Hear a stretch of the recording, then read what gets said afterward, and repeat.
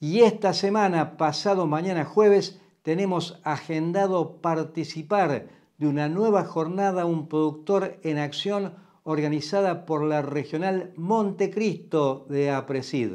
Se va a llevar a cabo este jueves a partir de las 8.30 horas en el campus norte de la Universidad Nacional de Córdoba.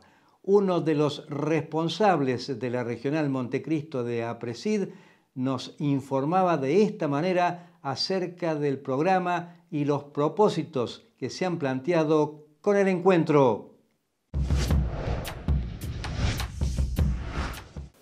Ingeniero Ariel Masurou, nosotros venimos diciendo en AgroVerdad que en esta semana que se está iniciando, el acontecimiento que realmente hay que recuadrar, nos parece a nosotros, es la jornada de un productor en acción de la Regional Montecristo de Apresid, a la cual ustedes le han puesto, bueno, un título que me parece que es más que convocante, de acuerdo a las circunstancias que están planteadas.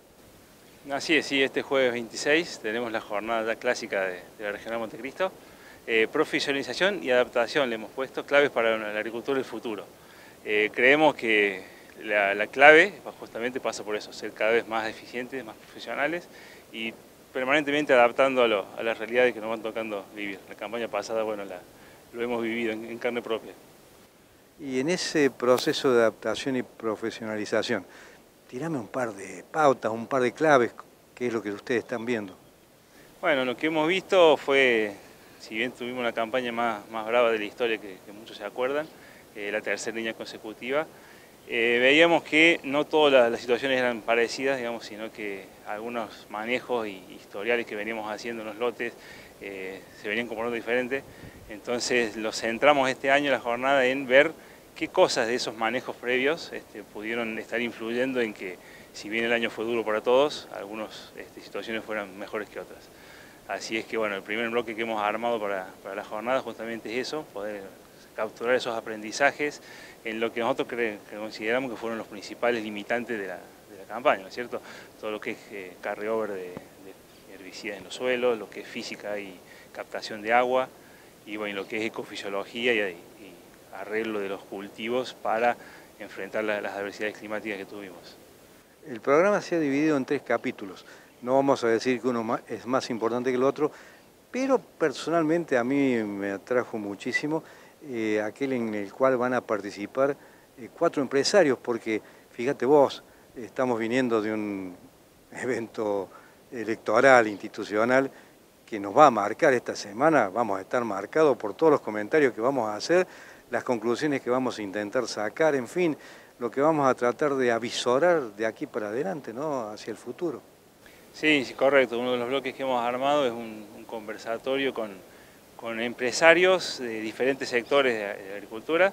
Tenemos a una, empresa bueno, netamente agrícola, eh, una empresa más ligada a la parte ciclo completo con agricultura circular.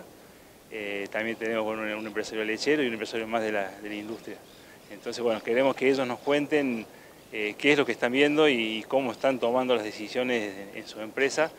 De claro que vos dijiste, tenemos el proceso electoral que acaba de pasar, y bueno, y, la perspectiva climática que nos están eh, pronosticando para el año. Así que bueno, en base a eso, este, ver cómo están, qué decisiones están tomando ellos con sus empresas y, a ver si podemos sacar alguna, alguna pauta de eso, ¿no es cierto?